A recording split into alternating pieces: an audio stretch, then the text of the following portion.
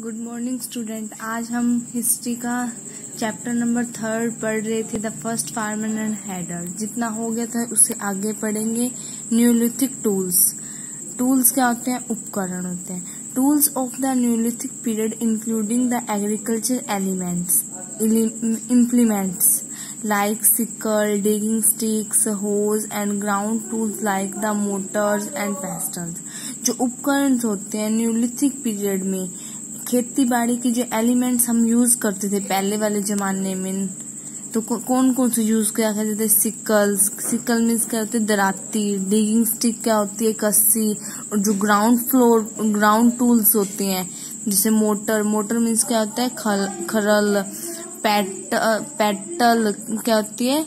मुसल।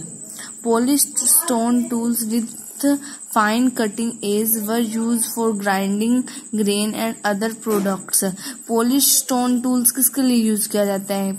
अनाज को पीसने के लिए और और कोई भी अन्य प्रोडक्ट्स है जिनके लिए यूज़ किया जाता है। Stone axe is found from Bellary district Karnataka and the Santhal Parganas Jharkhand also belong to this city stone axes क्या होती है? पत्थर की कुल्हाड़ी। फाउंड फ्रोम में बैरली डिस्ट्रिक्ट कहाँ पे से होती है, एक बैरली डिस्ट्रिक्ट में पाई जाती है। सेंट्रल प्रंगान में, झारखंड में आल्सो बिलोंग दिस पीरियड इस पहले जमाने वाले में पाए जाते थे। आगे है life of the people tribes tribes क्या होते हैं? जनजाति। जो पीपल की ज़िंदगी जनजातियों में कैसी थी, कैसे वो रहते थे, उनके बारे में बताया गया earlier man moved in group to protect himself from wild life जो अर्लियर मैन थे, वो कैसे प्रोटेक्ट करते थे? कैसे रहते थे विल्ड एनिमल के साथ? His group consist of man women children and domestic animal एक ग्रुप बना हुआ था जो हम कंसिस्ट करते थे आदमियों को, औरतों को, बच्चों को डोमेस्टिक एनिमल से से कंसिस्ट करते पशुओं से. And his settlement were were called villages और वो अपना सेटलमेंट कहाँ करते थे? गाँव में विलेज विलेजेस में करते थे।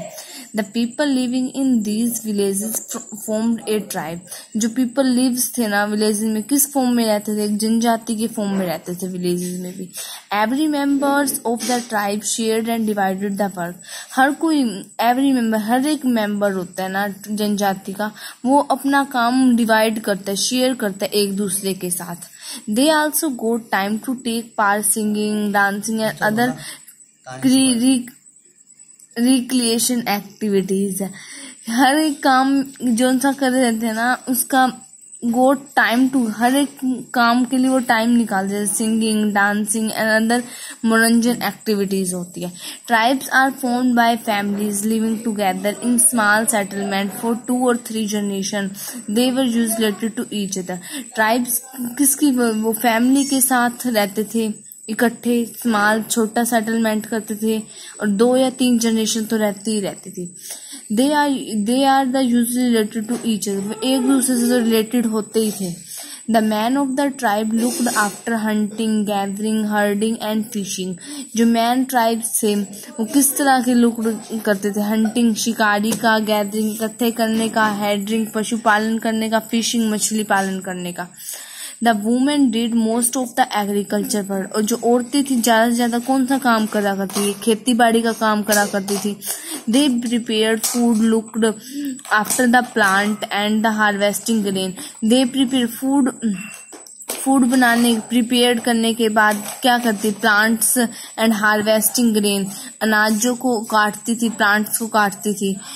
Both man and women looked after the animals जो मैन दोनों, औरत और आदमी दोनों किससे लुक्ड होते थे? एनिमल्स के देख, की देखभाल किया करते थे और they clean and milk them ताकि उनको दोनों के क्लीन साफ़ सुथरा मिल्क मिल सके, ताकि वो स्वस्थ यदि साफ़ मिल्क मिलेगा, दूध मिलेगा तो अच्छी, उनके लिए अच्छा होएगा हेल्थी होएगा, उनका स्वास्थ्य अच्छा रहेगा।